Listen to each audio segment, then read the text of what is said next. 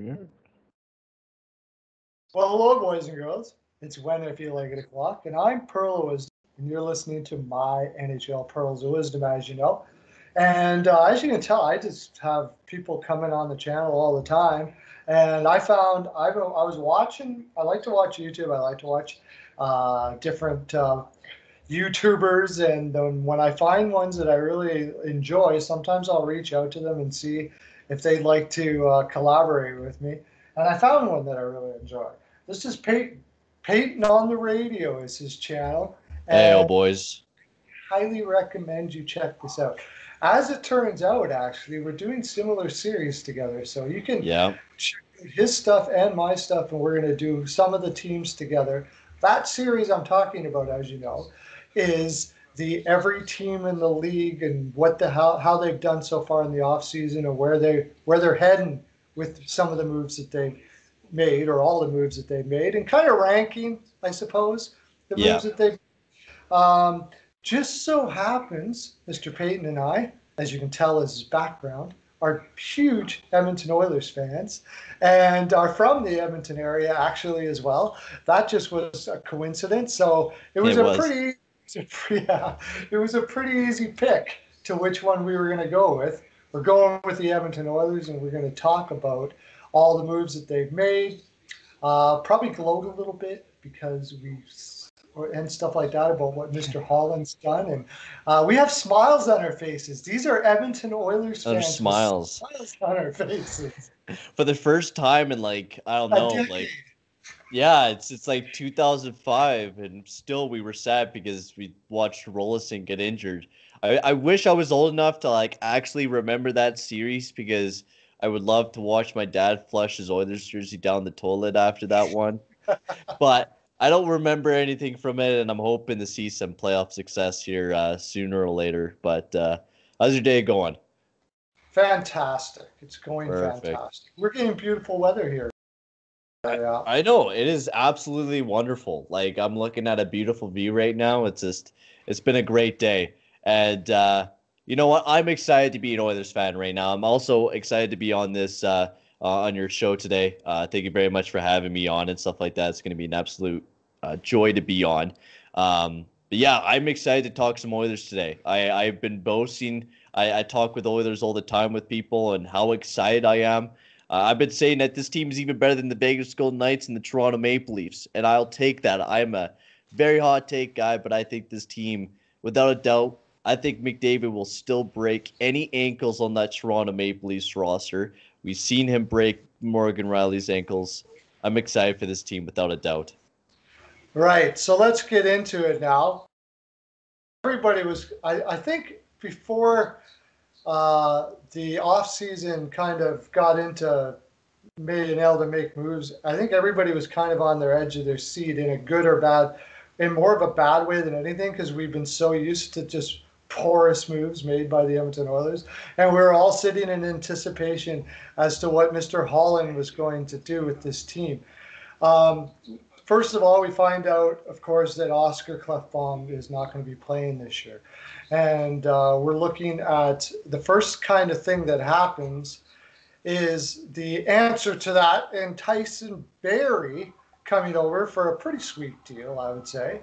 Um, s- yeah, steal of a deal. What do you, what what was your thoughts and what do you think about uh, him grabbing Barrie in, in uh, to to take uh, Oscar Klefbom's place in the lineup? You know, it's it's really hard. I, I've been saying this for a while now with Oscar Klefbom. I think it's time it- it's not up. He's a great defenseman, but his time as being a top two defenseman for our team is definitely up. Oscar Klefbom is just he's an injury riddled guy, and picking up Tyson Barrie is a perfect guy, right? Like we didn't have any power play guy. Like you put up Darnell Nurse, like Darnell Nurse does does a really good job up on that power play, but definitely not as great as, for example, Klefbom.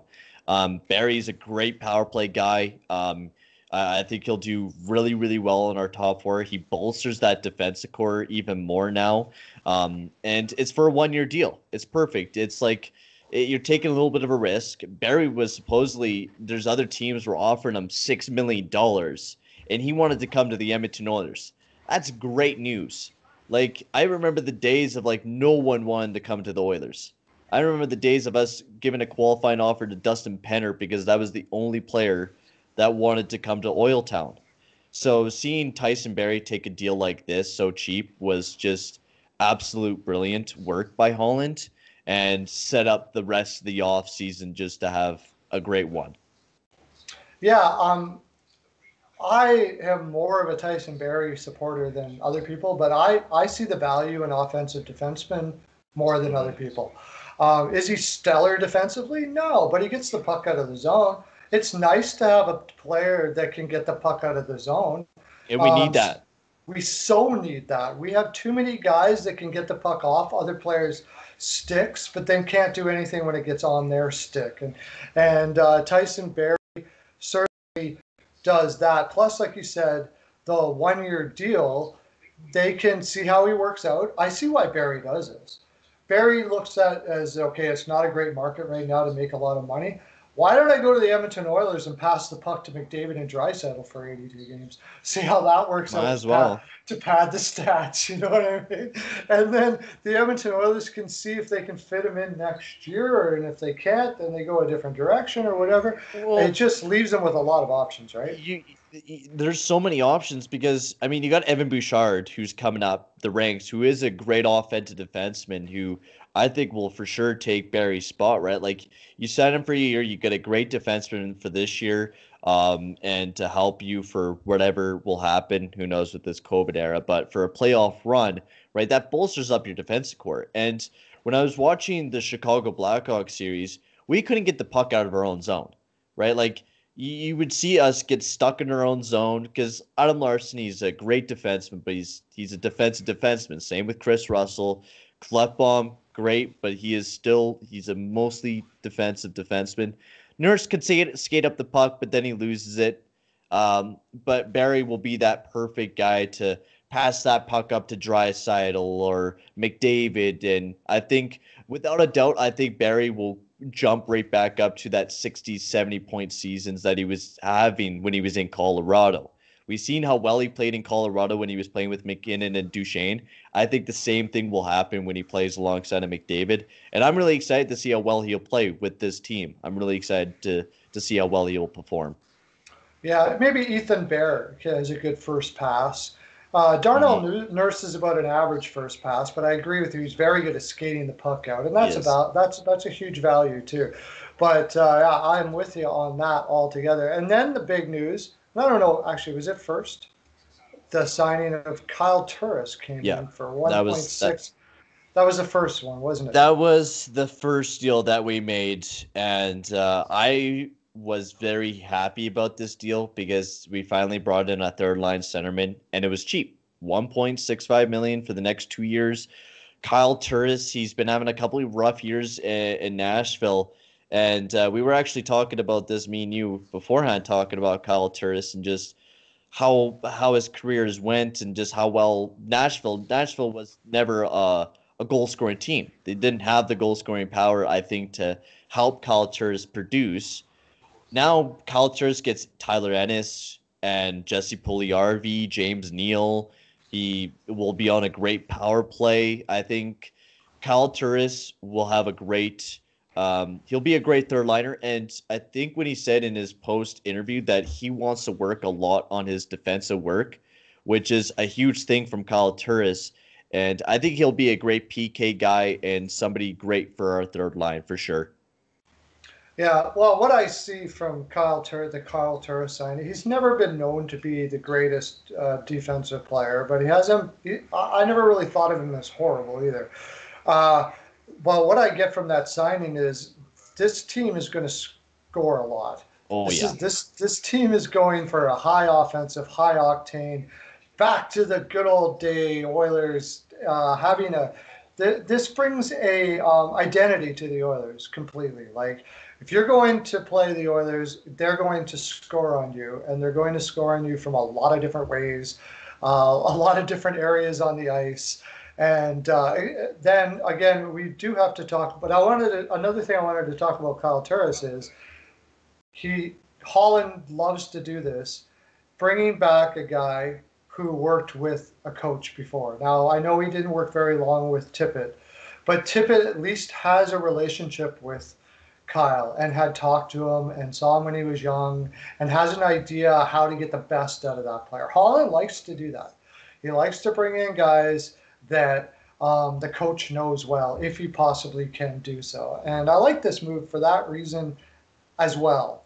And also the fact that it's only 1.6 per. Uh, it was a, it's a great deal. And, you know, I love the way that Colin works it because when a player knows the coach, the player plays better. And especially when the coach knows the player, because that means you're just going to have better chemistry along the entire team, right? Like, we've seen it when we picked up Anthony Ciu. Like, he was picking up a lot of players that he knew, and it worked out pretty well. Like, I think uh, Tyler Ennis, who we picked up at the deadline there, I think Tyler Ennis worked great, especially when we were playing in the playoffs. Ennis brought that speed and energy that we needed going into the playoffs. It just it was unfortunate what happened. It was a it was a really brutal injury that uh, happened to Tyler Ennis near the end there. Yeah, yeah, that's for sure. Uh, I'll see what Ennis uh, can do. He's had his injury problems, but uh, it's not hard to see why. He's 5'9", 161, and he doesn't play like it. Like even no. that play when he got injured there, that was he was actually, going.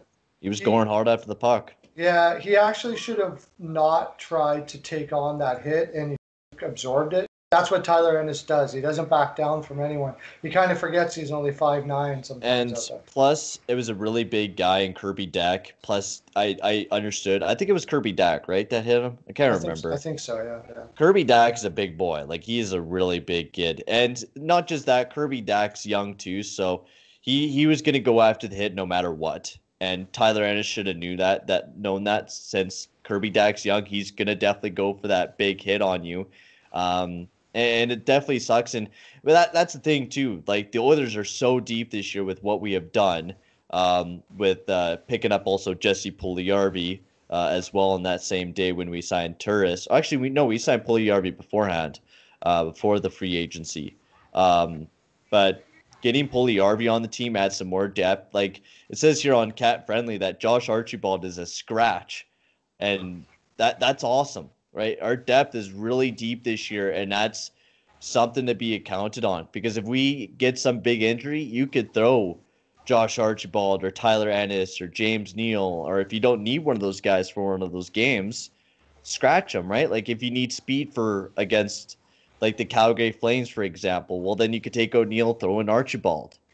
Maybe you need a little bit of physical, you throw back in Neal, maybe throw in some more physical people. There's so many different possibilities with this team. I'm I'm really excited. Like yeah. I know I'll probably say that a lot in today, but it's been the first time in a long time where I could actually say that this is a bona fide looking like a really good playoff team. That's the energy in Edmonton here for sure about the Oilers, and uh, you that was the next uh, you you segued really well because Jesse Puljujarvi was uh, the next feather in the cap for Kenny Holland, uh, being able to work with him and uh, bring him back when it looked like possibly all was lost. Uh, it looks Kenny is a great influencer, great heart, and it comes out in shows, I think, and that's part of the reason why they bring Puljujarvi in here. I love the two-year deal. I really do. Like, I thought it was just going to be a one-year deal. Like when I was hearing Jesse Puljujarvi was coming back, like um, from all the the Oilers analysts, they were saying it was just going to be a one year deal. It was like 1.5 or whatever, and it was less than that, and it was two years. Puljujarvi was doing great in the Liiga. Um, I was really upset personally when he left the team. I thought he kind of like betrayed the Oilers. He said that the Oilers were mean and all this sort of crap that he was saying. I felt like when this happens, because when Holland and Tippett signed with the team, I was like, oh my god, like this team is finally going up. Maybe this is where it'll start. And then Puljujarvi's like, I don't want to play with the team anymore. I felt that like hit of fear for me as an Oilers fan, like, oh, it's just gonna happen again. Like this team is just gonna go back down in the the dumpster fire. But we were able to be patient with Puljujarvi. I'm glad because I'd rather not go out and do a deal for Lias Andersson for Puljujarvi. I would have hated that. I would have hated trading Puljujarvi again because we did the exact same thing with Yakupov and Hall. We traded them away for nothing. And I didn't want to see that happen with uh, Puljujarvi. Um, this guy to have a great year, especially if he gets to play alongside of McDavid. But I do see him playing alongside Turris at the start of the year until he actually proves himself and when he could actually start putting up points and be a contributor for this team. It's probably going to be the most intriguing thing to see how Puljujarvi actually does in this lineup after all of that. Um, it would be a feel good story if even if you're not an Oilers fan to see Jesse grow up and do what he's done and then come back to the team and everything works out well. I think it'd be a really good feel good story. It's going to be a very intriguing. I think everybody now is rooting for Puljujarvi that he was able I to think so. to grow up and do that and come back and The, but the thing about this Oilers team as well, the Oilers team has grew up. Like McDavid has become more of a leader. Leon Draisaitl as well has become more of a leader. I think this team overall has become more of leaders. We were a really young team when Puljujarvi was on this team. We didn't have very much leadership. We were a bunch of bandits, right? Like there was a ton of a-holes on this team. And I understand why Puljujarvi left because the amount of turmoil that we had on this team throughout the rebuilding years was horrible. The things that we heard about what happened to Sheldon Souray and tons of other players on this team, it was a really, really bad decade of hell for the Edmonton Oilers. So I'm glad to see that this is where we're where we are now, and we're seeing this team growing up. Yeah, absolutely. It's it's um I know, so I got two more guys that I would like to talk about. Um, one is the more undermined, not really thought of uh, acquisition that I think was a fantastic acquisition. Um, I'm still surprised that he really hasn't got more of a chance in the league, and that's Alan Quine. I think Alan Quine was a great pickup for the Oilers. Um, everywhere he's played, now I'm doing this off the top of my head. It was in New York Islanders and Calgary, from Yep. what I remember. Uh, I every time I watched him play, I always had to ask myself, why is this guy not getting more minutes?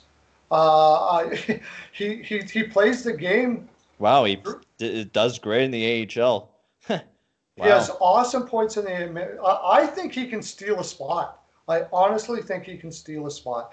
I think um, Edmonton Oilers fans are going to be really surprised at how much talent this guy this guy has at 27 years old. What do you think about the acquisition? You know what? I didn't do too much research to be honest with you when we picked up on Alan Quine because I thought he was just going to be another AHL guy for the team. But looking at him now, like uh, in 2014-15, 61 points in 75 games for the AHL squad there, and even in the NHL, he's done really decent. And you know what? That that's that's great. Like we need more depth, and, and that was the biggest thing last year. Like we had some big key injuries, but we didn't have players to jump in the lineup to fill those holes unless you wanted to use like your young guys that you had on the squad, right? You add Alan Quine, who I think will definitely, like you said, l- he looks and as a 27 year old, he's producing a lot of points. He hasn't been given that that for surefire chance, and I think he will be given a chance, right? There's we don't have very many big depth centermans on the Edmonton Oilers right now. Like you look at it, you have Jujhar Khaira, and then you have uh, Quine and Gaetan Haas, and that's really it. That's all you're really looking at for our depth centerman. So I think adding Quine to the team is perfect. Uh, and also uh, talking about our depth signings that we've done, Anton Forsberg as well. Uh, I do like that signing of Anton Forsberg. Um, the way that he has been playing, I think he could even maybe make a crack into that spot of maybe replacing Mike Smith as a backup goalie coming towards this upcoming season. Uh, the thing, yeah, and um, I agree with you.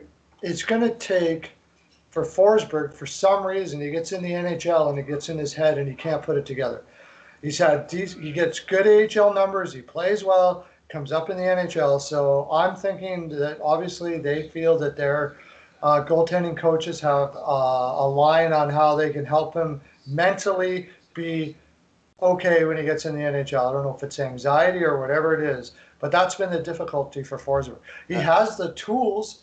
He's been wanted by several teams in the league for a reason because he has all the tools. It's just can he get his head there? I think we could get his head there because you look at Mikko Koskinen, right? He jumped right from I think it was the KHL right to the NHL, right? Like And that that's a tremendous leap for a goalie because from the KHL to the NHL, that's a big difference. Like it, it really is. Um, so for us, like I think we maybe could make Anton Forsberg into a really good goalie, but you never really know with goalies. Like you could take a look at a goalie and say that this guy's elite, but you could have something to happen like with Rick DiPietro or whatever, right? Like goalies are so unpredictable and how they play. Um, Forsberg could potentially be a great goalie, or he will just be a career AHLer for the rest of his life. But still, it's a great move. Um, will help that AHL team because the AHL team last year was complete garbage last year. Um, and especially for a lot of our young players, uh, we want that squad doing a lot better than what it was last year. Yeah, I guess I actually there's two more players now that you mentioned it. And I'm going to bring up the the first one that I'm not really a fan of either, and I know a lot of people aren't either, but I am rooting for him because he's a warrior. And you know who I'm talking about here, Smith, Smitty. Oh. Signing Smitty was uh, like kind of let down for me. Uh, he did look, he's a warrior, but it looks like his body just can't hold up from what I saw last year. What, what do you what do you think there? You know what I I love and hate Mike Smith. I have a love and hate relationship. It's one of those ones with Mike Smith, and you know what? I love the guy because he's a he's a gritty player. Like I, I love him because of the fight that he had with Cam Talbot and just the way the guy's been playing throughout his entire career. He's just been playing with um, a huge. He's underrated a lot, a lot For throughout his entire Absolutely. career. He was underrated a lot. Totally agree with you. And Mike Smith, when he came to the Edmonton Oilers, I'm like, okay, a decent goalie for a year it should be a smart idea. I mean, he wasn't too great in the Flames, and he came to the Oilers and not he didn't do too bad. I mean, there was a lot of times where I was like, we shouldn't have played Smith here. We should have not have played him, and especially game one against the um, Chicago Blackhawks, we shouldn't have never played Mike Smith game one. We we it should have been Mikko Koskinen's job game one to play. And I don't care about experience. Mike Smith has only been played like he played one year for the Phoenix Coyotes. He made it 16 games, and then that was really it. And then played for the Flames. Mike Smith compared to Mikko Koskinen for playoff experience wasn't that much. So for me, it was a dumb idea. Mike Smith, there wasn't very much out there. There was Ryan Miller, and that's just about it. There wasn't very much for goalies. And Mike Smith, for me, it definitely was a horrible signing. But in the end, who else were we supposed to go for? There wasn't very much out there. Um, now, I'm hoping that we don't play as much Mike Smith as we do. I'm hoping Tippett doesn't want to. I mean, Tippett really loves Smith. There, there's a, definitely a sign of that. Um, I'm oh, hoping sure. we play Koskinen a lot more because Koskinen was great. Fantastic. I think he's a starting goalie for sure for the next few years.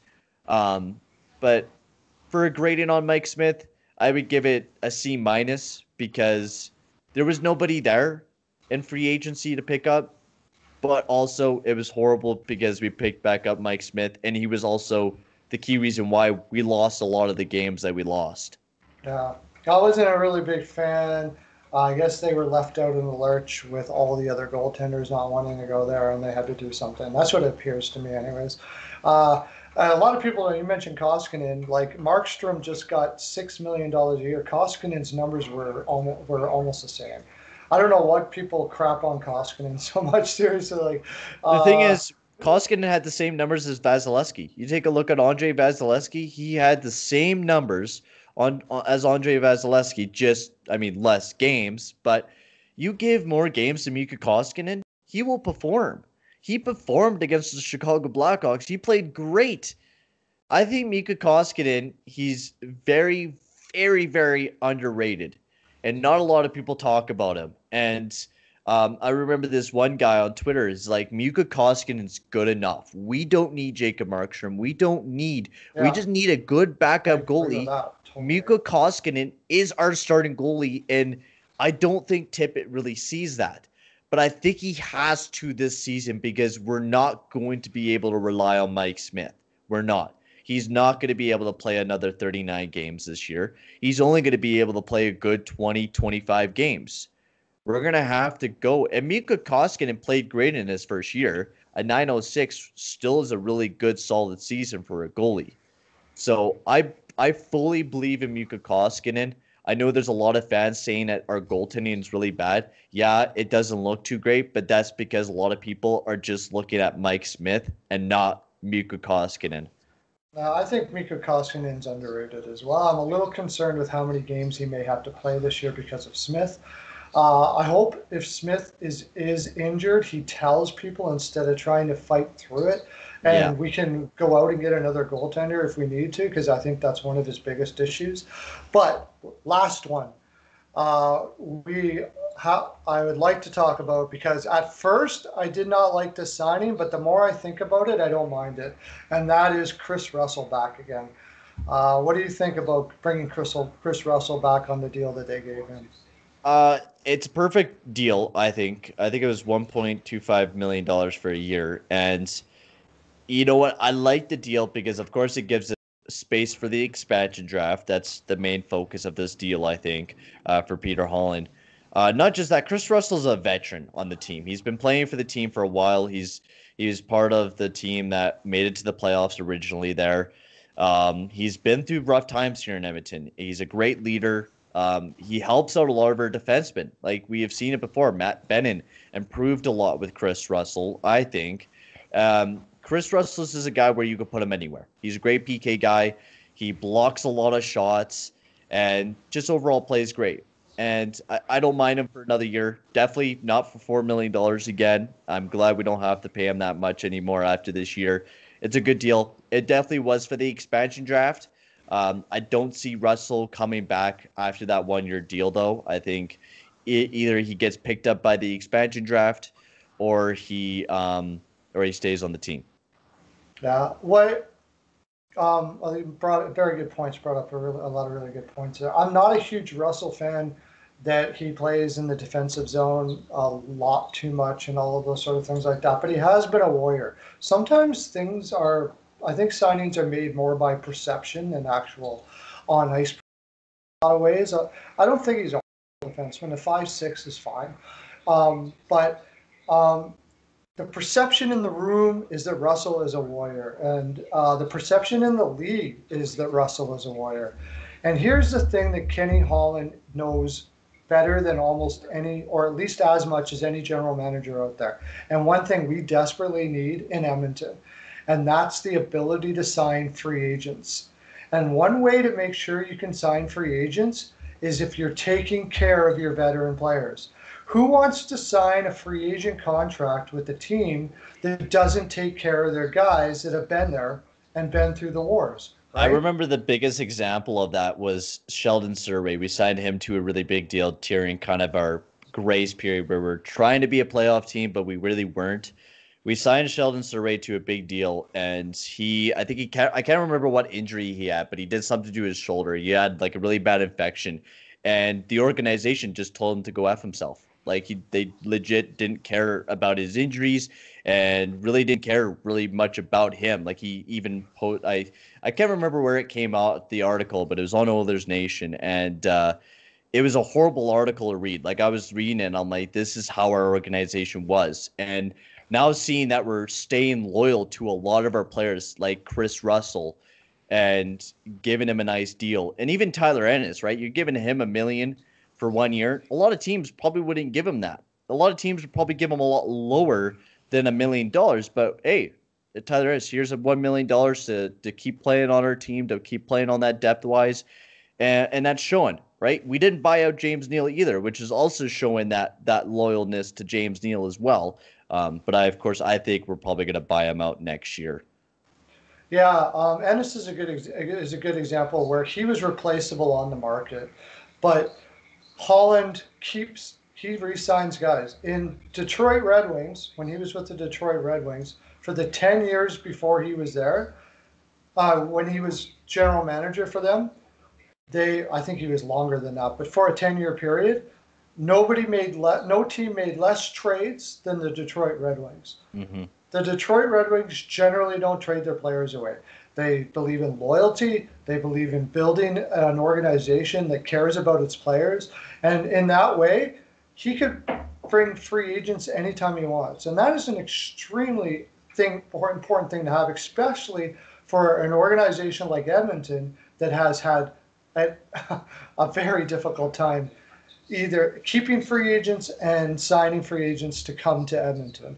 Of course, well, McDavid helps out too. Yeah, yeah, he does. I mean, he helped out with Tyson Barrie. He personally gave Tyson Barrie a call saying, "Hey, come to Edmonton, man. Like, play on the top power play line. We'll set you up, and we'll we'll give you tons of points."